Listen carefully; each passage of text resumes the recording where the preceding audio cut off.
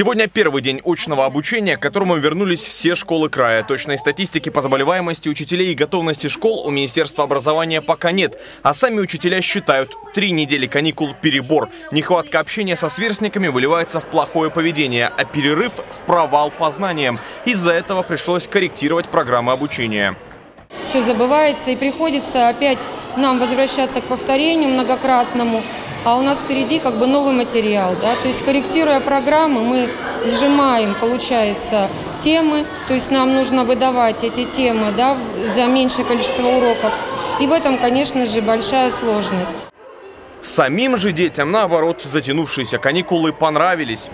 Это самое лучшее, что у меня было в жизни. А это ирония? Нет, серьезно, мне нравится. А по каким причинам? Ну, то, что в школу ходить не надо. Хорошо тем, то, что, ну, можно отдохнуть, так сказать. По словам директора, в первой четверти пропускали уроки в среднем около 11% учеников. На вторую четверть вышли почти все, так что будут работать полностью очно. Но сейчас Краевое министерство образования позволяет школам самим выбирать формат обучения. Ну, в принципе, они правильно поступили, потому что разные школы в городе нашем и в крае имеют разную ситуацию. Где-то учителя, так сказать, очень возрастные, где-то, значит, менее возрастные, где-то болеют больше, где-то меньше.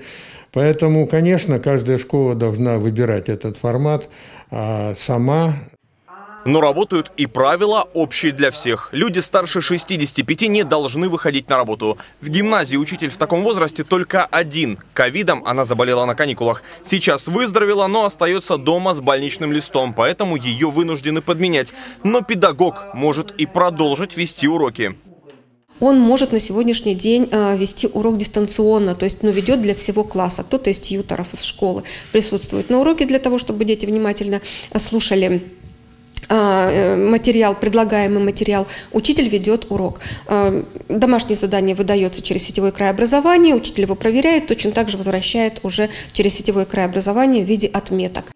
Такой опыт поможет, ведь министр образования края предположил, если в начале третьей четверти мы увидим волну заболеваемости гриппом, школы вновь уйдут на удаленное обучение. В министерстве говорят, сегодня уровень дистанционного образования в крае таков, что его можно запустить в любой момент, в любом объеме. С этим, правда, согласны не все учителя. Андрей Дрейер, Дмитрий Денисов. День с толком.